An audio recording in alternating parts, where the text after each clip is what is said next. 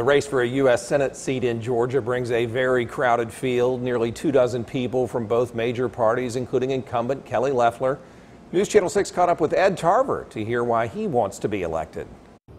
Just wrapped up an interview with Ed Tarver, and he focused on a few key points of his platform health care, the economy, and criminal justice to the, the, smaller communities where where we don't have the large healthcare, we don't have a large, huge, tremendously large uh, healthcare infrastructure. Topping his COVID 19 priority list in the race to unseat Kelly Loeffler, Ed Tarver tells News Channel 6 he wants better bed capacity, PPE, testing, and rapid services to better determine who is infected in places outside of Atlanta, Augusta, and Savannah. He says through bipartisan legislation, he wants to make sure Georgians have more help other than a payout from Congress in addition to re relying on agencies like the Department of Labor that we uh, uh, that we include as part of uh, the the plan uh, other social service agencies that have a direct uh, contact uh, with with individuals in need. Tarver tells us he is a veteran and lawyer who in 2009 was elected to the Georgia State Senate.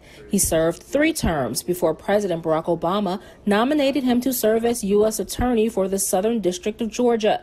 As the first African American in that position, Tarver says he was tough on crime, targeting prescription drug health care fraud, and sentenced those involved in the largest human trafficking investigation in the country. He also created a reentry program to keep felons from going back to prison. I went on the speaking circuit, went around to chambers of commerce and, and other business groups uh, and, and, tried to help them understand that if we don't address this issue and we, if we don't address it quickly, then, then you leave these prior felons, these folks, no choice but to return to the same type of behavior and activity that got them arrested and got them convicted initially. Despite the crowded field of Democrats, which includes Ebenezer Baptist Church pastor Reverend Raphael Warnock, Tarver says the polls show Georgians have not embraced anyone in the race. That I have a, a record of public service that I'm proud of.